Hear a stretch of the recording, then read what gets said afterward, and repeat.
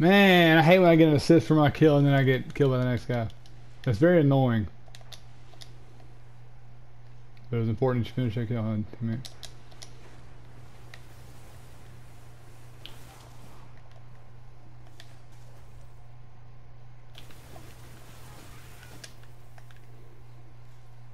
Will you stop stealing my kills, you stupid fucking hunter?